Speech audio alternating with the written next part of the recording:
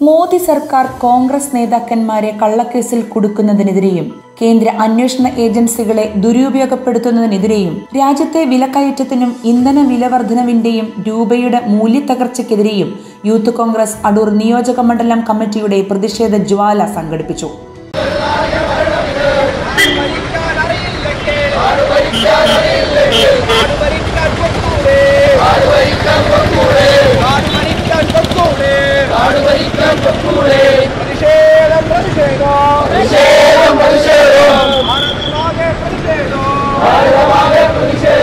കോൺഗ്രസ് അടൂർ മണ്ഡലം കമ്മിറ്റി ഓഫീസിന് മുന്നിൽ നിന്നും ആരംഭിച്ച പ്രകടനം K S R T C bus സ്റ്റാൻഡിന് മുമ്പിൽ സമാപിച്ചു.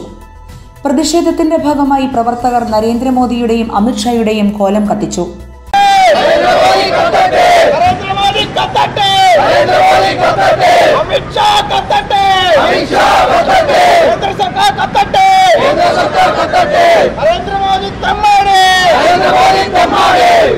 പ്രതിഷേധ യോഗം കോൺഗ്രസ് ബ്ലോക്ക് പ്രസിഡന്റ് മണ്ണടി പരമേശ്വരൻ ഉദ്ഘാടനം ചെയ്തു. രാഷ്ട്രീയമായ മുതലെടുപ്പ് നടത്തുവാൻ ഇ ഡി ഉപയോഗിച്ചുകൊണ്ട് കേന്ദ്ര ഗവൺമെന്റ് കോൺഗ്രസ് നേതാക്കന്മാരെയും പ്രതിപക്ഷ നേതാക്കന്മാരെയും നമുക്കറിയാം. ഇന്ത്യയിലെ പല സംസ്ഥാനങ്ങളിലും പ്രതിപക്ഷ നേതാക്കന്മാർക്ക് എതിരെ ഇ ഡി ഉപയോഗിച്ചുകൊണ്ട് കള്ളക്കേസ് എടുത്തുകൊണ്ട് തുറങ്കിലടക്കുവാനുള്ള ശ്രമമായി മുന്നോട്ട് പോവുകയാണ്. ഇതിനെതിരായി ദേശീയ ദേശീയവ്യാപകമായി കോൺഗ്രസ് നേതൃത്വത്തിൽ കുറച്ച് ദിവസങ്ങളായി ശക്തമായ സമരപരിപാടികളുമായി മുന്നോട്ട് പോവുകയാണ്. കേരളത്തിൽ കഴിഞ്ഞ ദിവസം നമ്മൾ കണ്ടതാണ് രാജ്ഭവനിലേക്ക് കോൺഗ്രസ് നേതൃത്വം സമരം നടത്തി യു ഡി എഫിന്റെ നേതൃത്വം സമരം നടത്തി. വരും ദിവസങ്ങളിൽ ശക്തമായ സമരപരിപാടികളുമായി മുന്നോട്ട് പോകും. കഴിഞ്ഞ ദിവസം കളക്ടറേറ്റ് പണിക്ക് നടത്തി.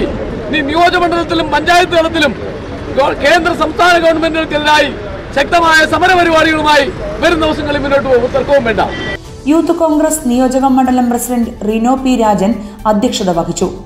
Choorakode Unnikrishnan Jayakrishnan Pallickal Fenny Ninan Jerin Jacob Vishnu Pallickal Saju Thengumthara Ashwin B Kurup Binu M Joy Shinu Viji Shijo Sam Abhi Vikram Alvin Vayala എന്നിവർ പ്രസംഗിച്ചു.